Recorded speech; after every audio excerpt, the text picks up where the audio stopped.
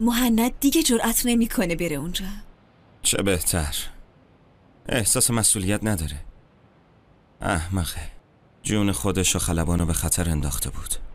چرا یه دفعه همچین تصمیمی گرفت؟ من از کجا بدونم؟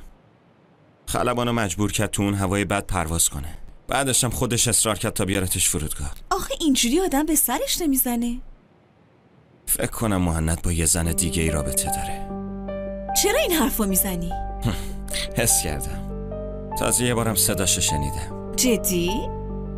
تمام وقت گوشیش دستش بود. انگار داشت با یه زن حرف می‌زد. اینجوری صحبت می‌کرد. بعد یه دفعه خشکش می‌زد. فکر کنم طرف گوشی رو روش قطع می‌کرد. از کجا می‌دونی؟ شاید داشت با بشرو حرف می‌زد. نه عزیزم. یه بار که داشتم میومدم بیرون دیدم مهند خیلی خیلی عصبی بود و تون را می‌رفت. حواسش به من نبود. داشت التماس می‌کرد. گوش کن یه دقیقه گوش کن. می‌گفت اومدم اینجا تا ازت دور شم. بعد طرف گوشی رو روش قطع کرد. خیلی شکی شد. راست میگی غیر ممکنه بشرا باشه. اونا از هم جدا شدن ولی قهر نبودن. همین که بهت گفتم. اون با یه زن دیگه رابطه داره.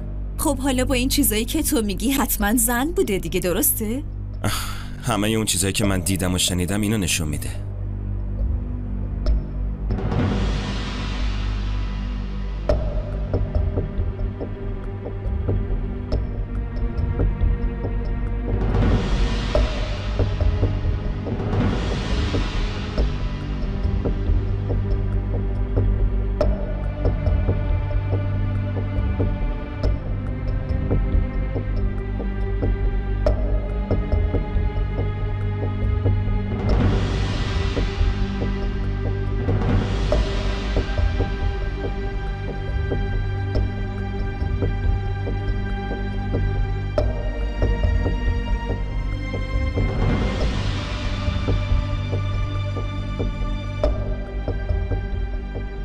چی شده؟